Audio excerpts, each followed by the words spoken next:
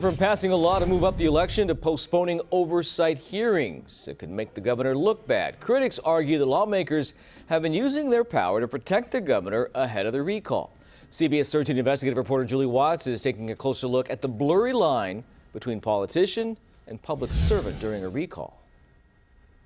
80% of all eligible Californians having received at least one dose. At an Oakland vaccine clinic last month, the governor seamlessly pivoted from encouraging people to get vaccinated to discouraging people from voting for a backup candidate. Simple, no vote, don't turn the page, consider the other 46 questions that are being asked. It's a not so subtle election season dance, switching between state official and politician, and the governor's not alone. It's a simple ballot. It's a ballot with two questions on it, really. Secretary of State Shirley Weber, a Newsom appointee, struggled to find the right impartial words during a Get Out the Vote press conference with Attorney General Rob Bonta.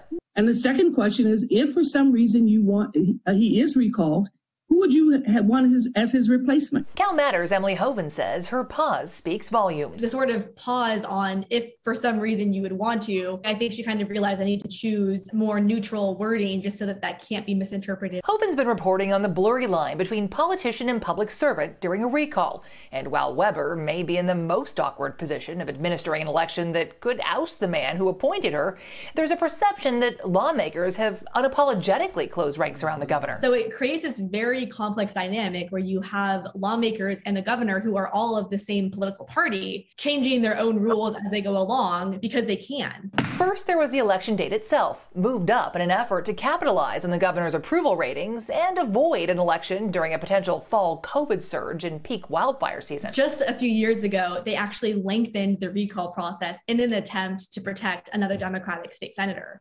And then this time, they're actually reversing their own rule they just made to move up the election for the governor. And Hoeven was first to report that a key EDD oversight hearing was postponed until after the election, citing scheduling conflicts the same week lawmakers canceled a wildfire oversight hearing prompted by a CapRadio investigation that was critical of the governor. You know, it does raise the question of how are you prioritizing certain topics? What is driving those decisions? Now, the Democratic chair of one of the EDD committees also said they wanted to wait until the federal unemployment benefits ended in September. But whatever the reason for any of these decisions, the perception underscores the challenge of playing both politician and public servant amid an election. One vote and done. We should all want to make sure that our voices are heard.